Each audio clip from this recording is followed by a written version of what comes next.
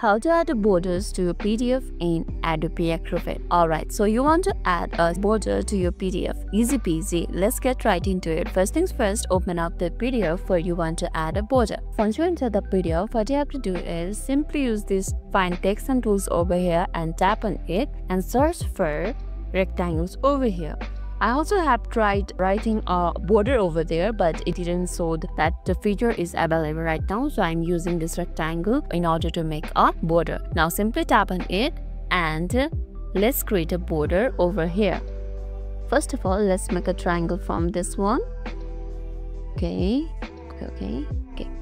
Maybe this much. I want to add a border to this one and release it.